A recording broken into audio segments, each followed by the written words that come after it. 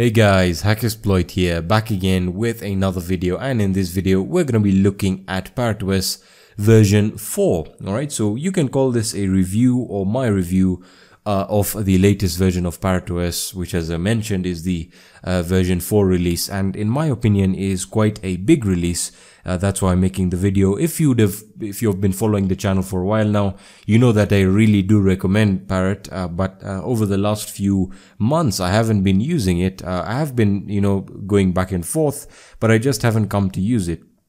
Now, now before we get started with the video, uh, I just want to point out that uh, I'm really sorry about the inconsistent uploads. I'm working on uh, a new schedule for uploading and obviously higher quality content, so you can vouch for that. Uh, as for the the the series that are continuing, they are going to continue. The web application penetration testing series is ongoing, uh, and we are going to start the hack the box series. Uh, although I'd really want to know what you guys think because if I post the solutions to these to these machines for hack the box, won't it spoil it? Uh, so what I would recommend is that you in the uh, comment section just let me know which machine on you're having trouble with specifically, and I'll solve that one if that makes sense. That being said, let's get started. So as you can see, I have it uh, installed here on a virtual machine, on VirtualBox more specifically, and you might be wondering to yourself, why on earth do I have this taskbar here, this Windows taskbar, and that's essentially there's a, a kind of an issue I've been experiencing with uh, with virtualizing version 4 of Parrot. So uh, I'm still to find out how to sort the issue. I did try it on VMware and uh, I had a, a lots of errors with getting the full screen mode to work properly. I installed the VMware tools. Um, you know, I just couldn't get it to work properly. So I had to fire up VirtualBox and it seems to be working, you know, excellent, honestly, to, to be, uh, to be honest. And uh, you know, let's get started with what has changed with uh, with ParrotOS. What are the big changes with the latest version? Well, for me, the latest version comes in its uh, in its different images that uh, it's released now in, in terms of support. So it supports Docker and it supports net install. So if you know what net install means, uh, it essentially allows you to to install the features that you want in regards to ParrotOS. So awesome to see that you can customize your installation as far as embedded devices are concerned. So, you know, you can customize a version for yourself and you're able to tinker around with it and make it work on certain boards like the Raspberry Pi, although they have made a version for that, but you get the idea. You can customize it to your liking and to suit your embedded device needs, uh, you know, that type of application there. And uh, then Docker templates. This is something very, very important as they've stated. Uh, if you know what Docker is, Docker essentially allows you to to deploy uh, an operating system in an isolated manner on on top of any host operating system. So Docker is used, uh, you know, a lot nowadays, and it's good to see that they have gone in that route, providing Docker solutions. Uh, in terms of the kernel, they've updated the kernel to the latest version, which is uh, the version 4.16 uh, and again keeping it fresh that's what they like doing and you know you could have upgraded the kernel with the older version which was version 3.11 ParrotOS version 3.11 but it's always good to have a nice clean install in terms of kernel and the distribution uh, with the latest updates to the packages. I'm not going to be going over the packages that were uh, that were updated. Uh, you know, just talking uh, on the big features that were included. In my opinion, features that uh, really stood out. Okay, uh, and essentially, when we when it comes down to what we're talking about right now, which is the Spectre and Meltdown, they had already patched it in version 3.11 so it's always good to see that they've done it earlier and that patch is carried on forward uh, into this version of ParrotOS, which is awesome.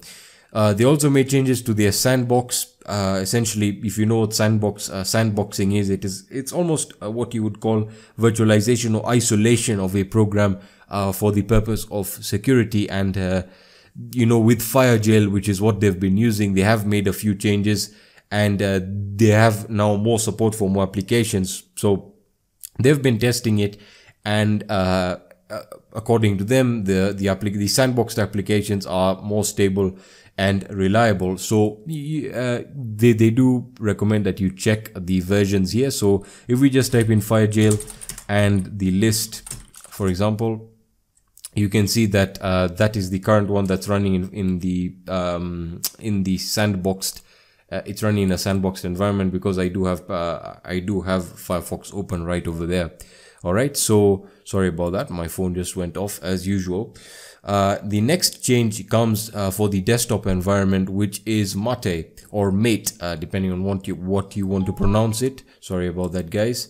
Uh, so when it comes down to the desktop environment, uh, they've been working with Mate, and the reason they've been going with Mate is because, um, or Mate, um, again, I'm just going to call it what I like to call it. Uh, the reason they've been going with it is so that it uh, it is low on the system resources. They could have gone with KDE or you know another type of desktop environment, but th this operating system, as they've mentioned many many times in their you know as their primary objective is to keep it as uh, low in terms of system resources as possible.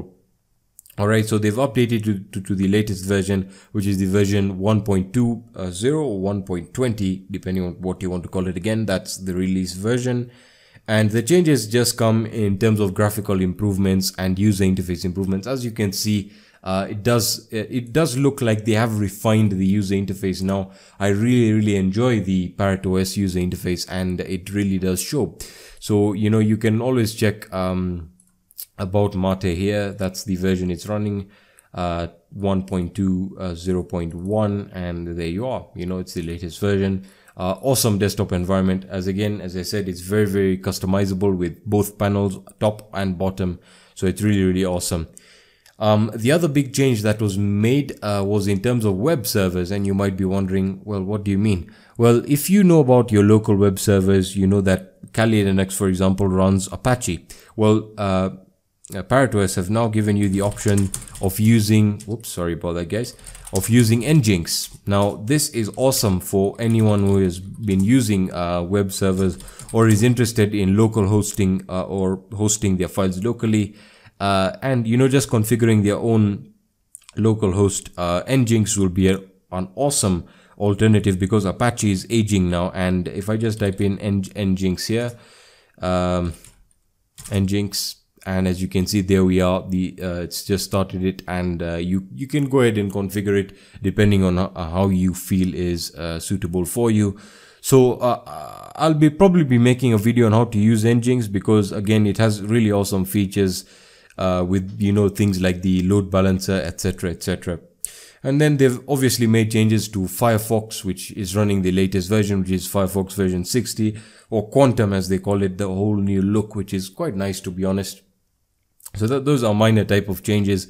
And LibreOffice which is their uh, you know Microsoft Office alternative for Linux uh, is also updated. Uh, so again it offers stability and efficiency uh, as for the upgrades, uh, the package upgrades, I'm not going to be covering that because again, obviously that would be redundant because there are a lot of package upgrades and you could have upgraded them if you're running the same version, uh, version 3.11, you could have just upgraded your packages without changing your distribution. Uh, that being said, uh, let me just give you guys a bit of a hands-on overview of what's been changed. Uh, again, as I said, they haven't changed anything in terms of the interface. Uh, one thing I did notice, however, were the changes made in terms of categories to the menu options, yeah, to the menu here. And uh, what I like, uh, again, is the ability for me to, uh, first of all, which they have had for a long time, the ability for me to launch my own programs at startup. And uh, I'll be running that as an experiment. And as you can see, if I just start blank right here, I can set up all my dependencies really, really well.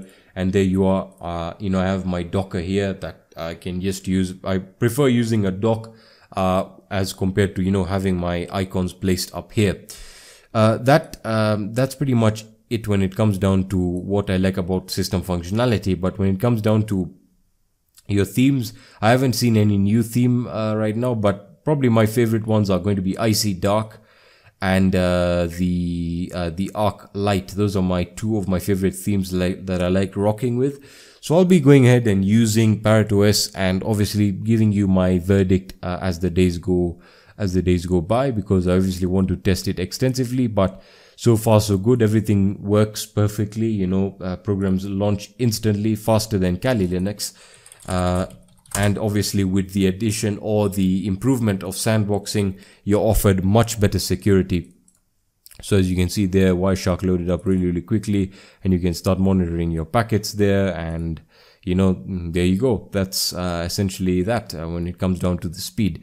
Uh, so many of you guys have asked me what do I think uh, of its um, of its performance given the fact that you might be running it on low system resources which is what most people are, are targeting with with virtual machines now the truth is I've run uh, ParrotOS for a long time now, for almost uh, going on to two years and I've used it since its very very early versions and since the beginning it worked perfectly on older hardware and the same thing can be said here.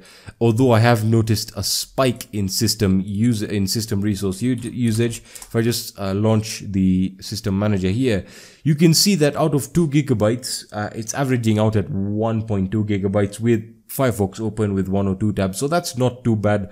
Uh, but I would recommend, you know, if you're using 2 gigs of RAM, um, going easy on it uh, and obviously increasing it will help a lot uh, with the with the uh, obviously with the ability of using swap but again that's going to be really slow if you're running it on a virtual machine uh, that being said you can see that the usage is quite good in terms of CPU usage but when it comes down to RAM management I'll have to still test it out with a few other programs opening, giving, um, you know, giving it typical usage scenarios, Burp Suite open, your browser open, let's say you're performing a web application penetration test.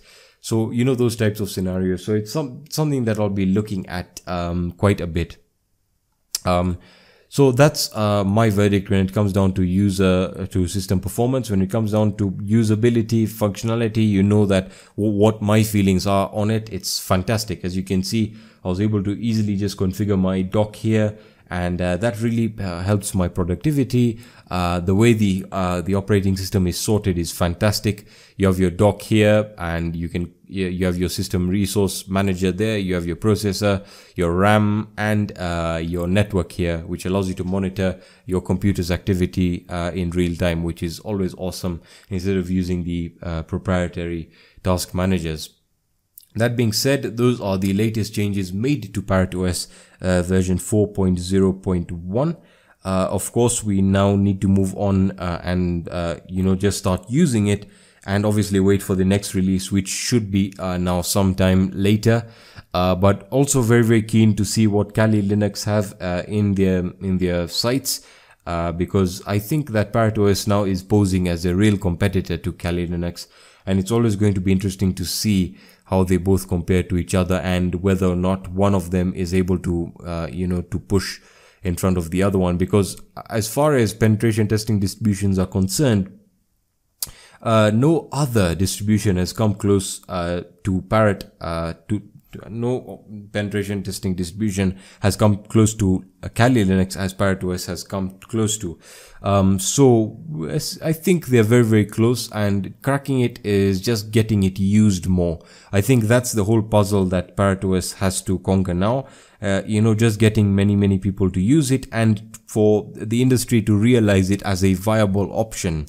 Uh, but again, that's that's something that we'll be discussing later on. And uh, yeah, let me know what you guys think. Go ahead and try it out for yourself. I know most of you or really really enjoy using it and already have, have it installed. So let me know what you guys think if you ever encountered any issues. And yeah, uh, that's going to be it for this video guys. If you found value in this video, please leave a like down below. If you have any questions or suggestions, let me know in the comment section. If you have any uh, questions, again, you can post them on my social networks and on my website. And uh, yeah, thank you so much for watching this video guys and I'll be seeing you in the next video. Peace.